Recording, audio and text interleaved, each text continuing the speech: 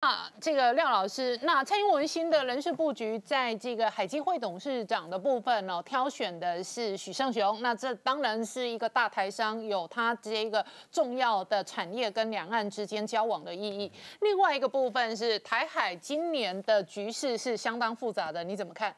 是，其实呃，中华人民共和国对台湾呢，早就已经展开所谓的灰色地带行动的这种公式哈。嗯。所谓灰色地带的行动，就是说它超越了国家跟国家之间竞争的态势，但是还不达到这个临战或是战争的一个状态。那么这张图啊，就是中国的海上民兵。嗯，他在二零一六年的时候，他其实，在东海也好，在南海也好，到处这个惹是生非啊。嗯，怎么说呢？他在东海，啊，这个跟日本啊也频频对峙，所以。举个例子来说啊，在二零一六年三月的时候，这个就有将近三百艘的海上民兵的这些渔船，嗯，呃，围绕这这个呃，等于是包围了这个钓鱼台，嗯，那么在这个频频的惹是生非之后呢，因为他都是用海上民兵，或者说用他的这个呃呃这个海上警呃海上武警的这个巡逻巡逻船，那么它是不达到战争的状态，但是呢。这个美国人受不了，他在去年他就警告这个中国啊，尤其是呃，假如说你再这样子下去的话呢，将来你的海上武警的巡逻船，跟你海上民兵的这些渔船，我都视为你的海军的呃的用这个海军的交战准则来对待。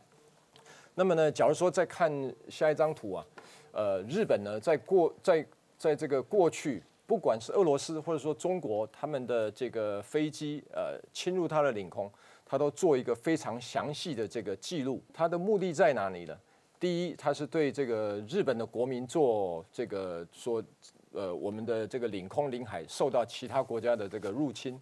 呃，那更重要的是，更重要的是呢，在国际社会上向呃保持一定的透明度，向国际社会申诉。那同时呢，也把这个趋势呃这个描绘出来。比如说呢，在二零呃一二年的时候呢。日本人就说，呃，这个解这个中国的渔船啊，呃，或者说它的海上的这个巡逻艇，嗯，是以三三二的这个这个模式。什么叫三三二呢？就是说每个月有三次，嗯，每次呢都有三艘的这个呃巡逻船，然后每次呢不超过两个钟头。它在二零一六年呢之后呢变成三四二，就是一次有出动四艘这个巡逻船。那么日本人为什么敢这么说呢？就是他长期的这个呃做这个统计，还有做趋势的分析。那么因此呢，嗯，我们的这个领空领海啊，也随时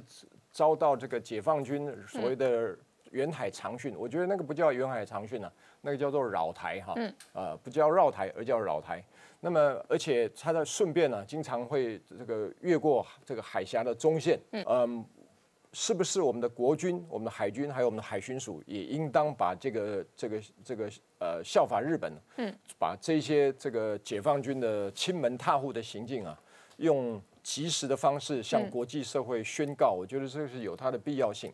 那么说灰色呃地带行动啊，我说有几个方面，第一个是资讯战，嗯，假新闻、假消息的这个攻击，这是无时无刻的不在进行。那么我们难道就是一天到晚就是要回应吗？啊，就是被动式的回应。我觉得更重要的是啊，中国他们其实不了解，他们他有一个最大的弱点，在台湾大概五大概四五个社交网络的平台，在美国也不超过这些数目。中国呢，大概有五六十个，这些都是我们可以反手为攻，这个进行这个呃资讯作战啊，信息战，把我们的外界的真心息。